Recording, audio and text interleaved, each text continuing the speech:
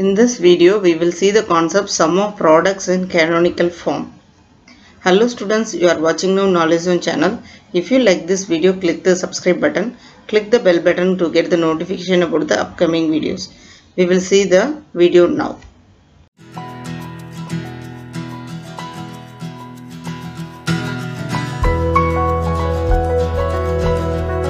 In this video, we will see sum of products in canonical or standard form.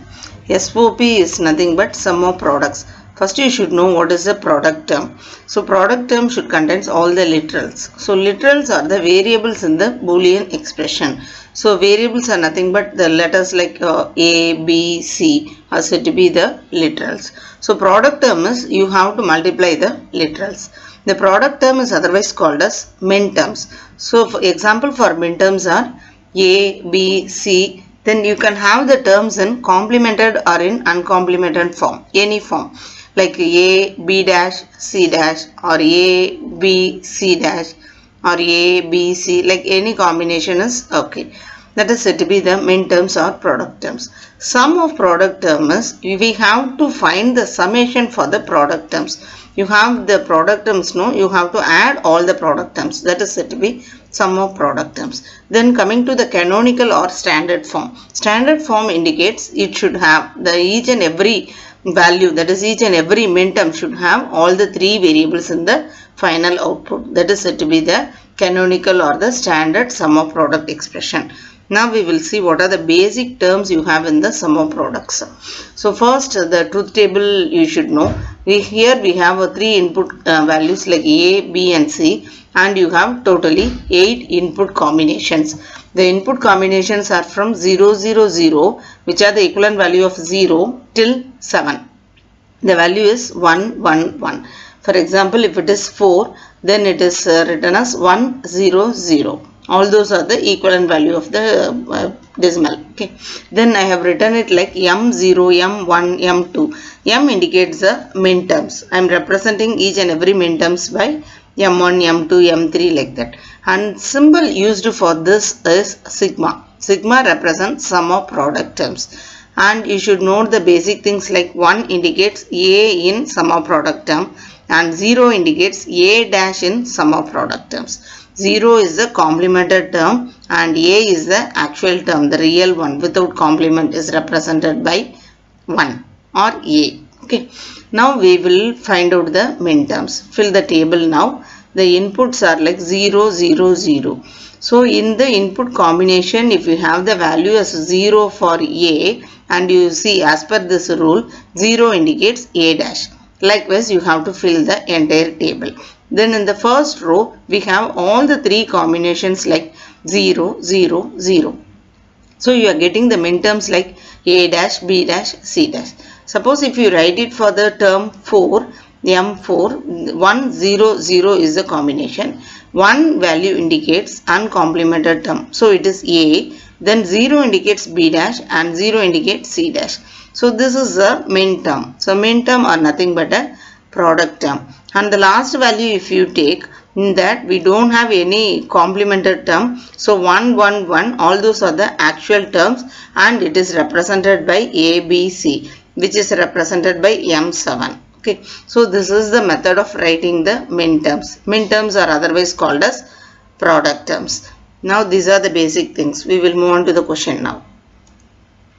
So derive a canonical sum of product expression for the boolean function g represented by the following truth table. This is a board paper 2016 paper and in this question if you see the table will be given the truth table that is with the three input combination ABC is given and you have G of ABC which is the output value. The output set of values will also be given to you in the table. Uh, sometimes without the table also you will be getting only the output value.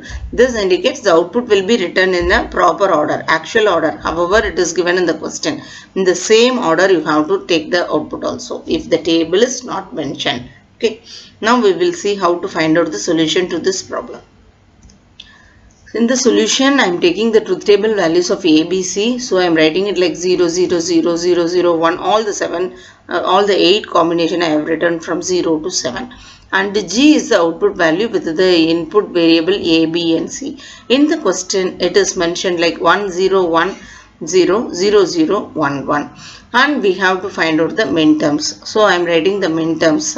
As I said earlier the minterm is nothing but we have to write the multiplicative term with the value. So first one is A dash, B dash, C dash and the last one is A, B, C. And how you have to find the solution for this problem is check in the output value wherever you have 1 those values have to be taken. Only those values have to be taken. And in the uh, in this uh, screen i have noted it by i have highlighted it by red color arrow mark. So for that alone for those terms alone we have one in the output column so that is the first row is uh, highlighted because in the output column G of ABC it is having 1. Then the minterms equivalent to that are A dash, B dash, C dash. The third row is highlighted because it is having 1 and the value minterm is A dash, B, C dash. And the last two values A, B, C dash and A, B, C. So all these four are the minterms otherwise called as product terms. And we are asked to find out canonical sum of product expressions. Canonical is all the values are having all the terms, all the literals, all the three variables, input variables are present in the minterm. That is canonical and sum of product is we have to find out the summation for all these minterms. So we have to add all these four minterms, only the four minterms, no need to represent the remaining things. So the final answer is A dash, B dash, C dash plus a dash B C dash plus A B C dash plus A B C. So this is the answer for this question. We'll see the next problem now. Derive the canonical sum of product expression for the boolean function f represented by the following truth table.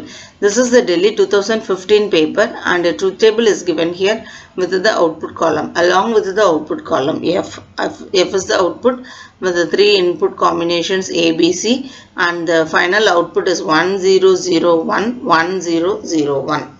Okay, we'll find the solution for this now. In the solution, take down the truth table, write the truth table again with all the combination from 0 to 7 and F is the output which is given in the question and I am writing the output 1001, 1001 and uh, next step is you have to find out the minterms. For each and everything write the minterms and next thing is check in the output column. Wherever you have one highlight those uh, rows. You can put a tick mark okay? So here also in this question you have four uh, rows highlighted. Um, and four rows are having the values one in the output column. So those values are the minterms we are going to represent in the answer. Okay so first one is a dash b dash c dash. And uh, the fourth one is a dash b c and next one is A, B dash, C dash and next one is ABC. These four terms are the main required main terms now and sum of uh, product terms. So product terms are nothing but the main terms. We have to add all these four terms and canonical form is it should have all the values. Check whether it is having all the three variables, input variables in the final expression. So that's all the sum of product one. Okay, I think you are clear with the sum of product uh, in the boolean expression. If you have any doubt, send it to me in the comment section. Thank you students. Thanks for watching this channel. Please subscribe the channel.